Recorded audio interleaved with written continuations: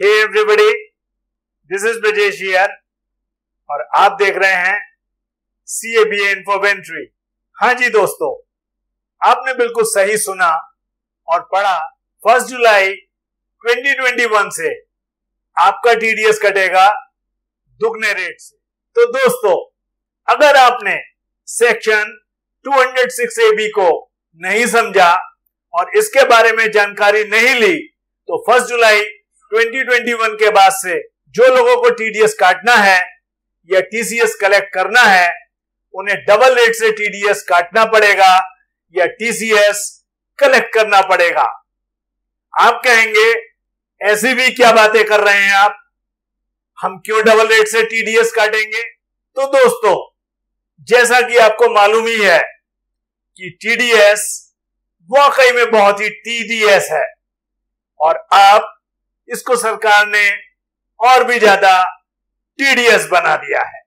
ये सेक्शन आपकी, यानी के ज़्यादा से ज़्यादा लोगों की टेंशन बढ़ाने का एक कारण बनेगा। मींस आपका पेपर वर्क बढ़ाएगा, कंप्लायंस बढ़ाएगा। तो ये सेक्शन सिर्फ़ आपका टेंशन बढ़ाने वाला है। मैं आपको बताता हूँ इस सेक्शन के बारे में। इसलिए इस वीडियो के अंत तक बने रहिए। चैनल आपने सब्सक्राइब कर ही दिया होगा। अगर आपने अभी तक इस चैनल को सब्सक्राइब नहीं किया है तो अभी सब्सक्राइब करके बेल आइकन बटन को दबा दीजिए, जिससे आगे आने वाले सभी वीडियो के अपडेट्स आपको टाइमली मिलते रहें और ये आपके लिए बिल्कुल फ्री है। At times some taxpayers do not want to get into the hassle of filing an income tax return as they may not have any tax liability, but they may have earned an interest income of rupees 5 lakh and their bank might have deducted TDS of rupees 50,000. Thereon, the taxpayer may not have claimed a refund by filing income tax return thinking that it is the tax to be paid to the government. In such cases, the bank shall deduct TDS at higher rates now. Also, it may happen in cases of housewives who may not have a regular business or profession but may have received some payment for any job they have done in the previous financial years. If the pair had deducted TDS of rupees more than 50,000 and she did not file income tax return and now if she has earned interest income this year, the bank will deduct TDS at a higher rate. In the quest to mint more revenue, the taxation laws are amended intermittently to plug the loopholes. In this process, either the new loopholes emanates or the law becomes more complicated. The more laws, the more offenders. The offenses may not happen intentionally, but due to ever-changing laws. Such offenses can be curbed by imposing the penalties or by reminding the offenders about their responsibilities. Finance Act 2021 takes the same records by inserting section 206AB and section 206 CCA. आइए अब बात करते हैं section 206 A B की जो कि applicable हो गया है फ़र्स्ट जुलाई 2021 से। आइए, अब आपको एक एग्ज़ाम्पल के थ्रू मैं इसको समझाता हूँ।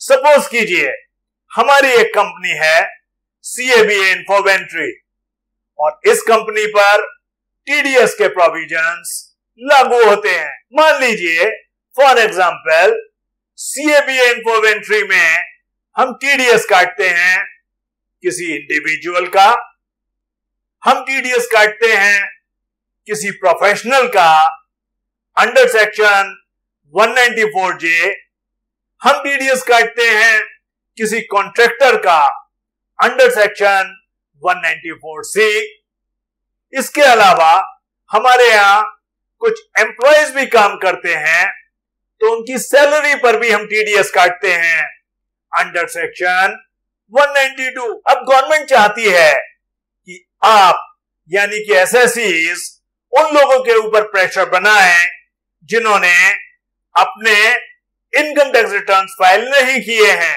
तो ये तो वो वाली बात हो गई कि इनकम टैक्स डिपार्टमेंट अपने आप तो अपने कानून को इंप्लीमेंट नहीं कर पा रहा है, लेकिन उसके लिए वो अपने एसएससीज का इस्तेमाल करेगा।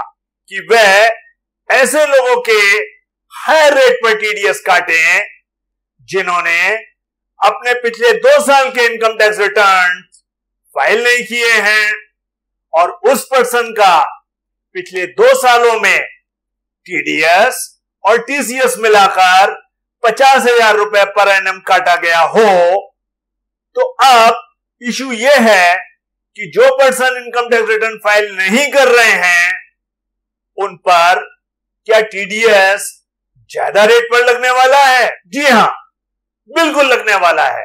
तो दोस्तों, मैं इस सेक्शन 206 ए बी के बारे में कुछ फाइनल एंड इंपॉर्टेंट पॉइंट्स भी आपसे डिस्कस करूँगा इस वीडियो में, जिससे आपको इस सेक्शन को समझने में बहुत ज़्यादा आसानी और सुविधा होगी।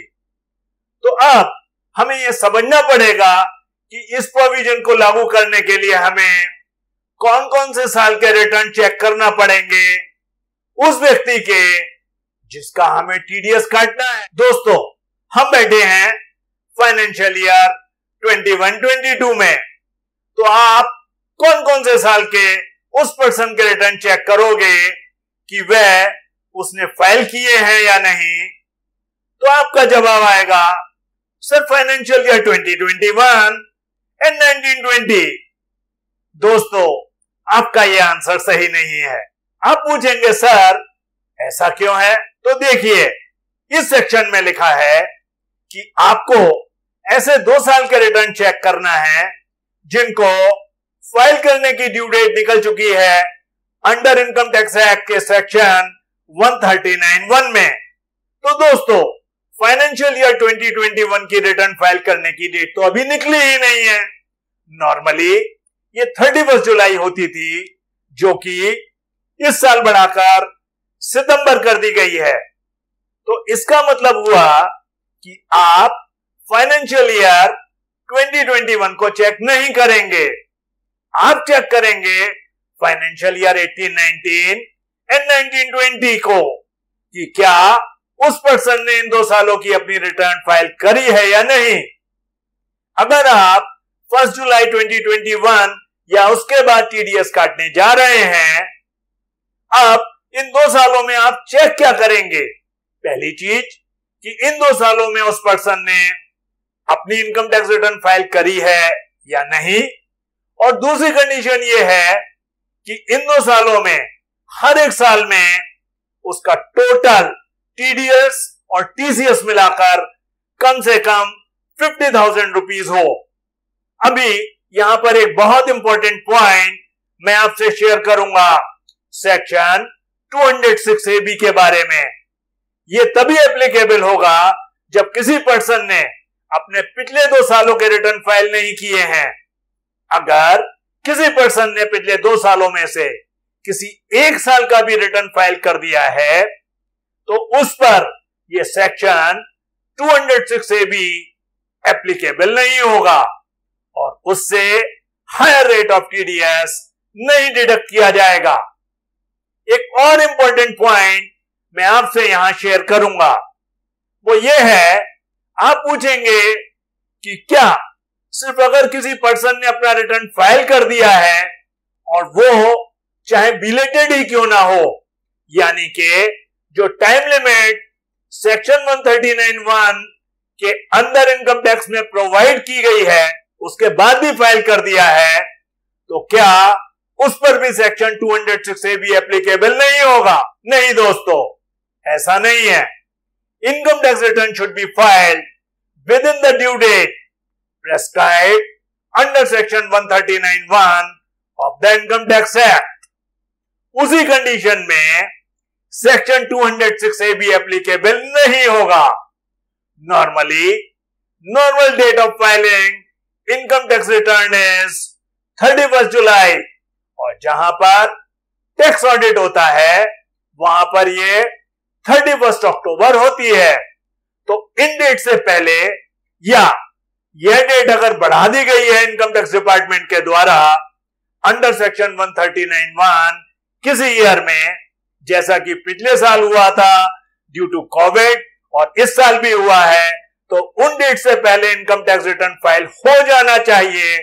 अगर ये डेट निकल गई है, और इनकम टैक्स रिटर्न तब तक फ़ाइल नहीं किया गया है, किसी व्यक्ति के द्वारा तो सेक्शन 206 ए बी एप्लीकेबल हो जाएगा। अब, अगर किसी पर्सन ने अपना पिछले दो साल का इनकम टैक्स रिटर्न ने ही फ़ाइल किया है और उसका टीडीएस एंड टीसीएस मिलाकर रुपीज़ फिफ्टी थाउज़ेंड उन दोनों सालों में अलग अलग होता है। तो ये सेक्शन 206 ए बी एप्लीकेबल हो जाएगा और उस केस में आपको उसका हायर टीडीएस काटना पड़ेगा। अब सेक्शन 206 ए बी में टीडीएस का रेट क्या होगा? अगर आप इस प्रोविज़न को कंप्लाई नहीं करते हैं तो पेनल्टी क्या होगी? आपके द्वारा फेस की जा रही प्रैक्टिकल डिफिकल्टीज का क्या सोल्यूशन होगा?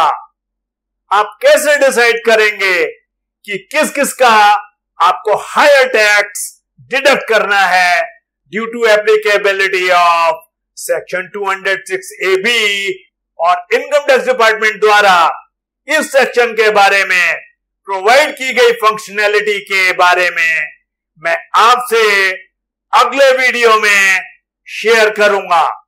मुझे उम्मीद है कि दोनों ही newly introduce sections 206 A B and 206 CCA के बारे में आपके मन में जो भी क्वेश्चन आ रहे थे, उन सबके सॉल्यूशंस मैंने आपको दे दिए हैं। अगर फिर भी आपके कुछ और क्वेश्चंस अनआंसर्ड रह गए हैं, या आपके मन में आ रहे हैं तो उन्हें आप कमेंट बॉक्स में डाल दीजिए।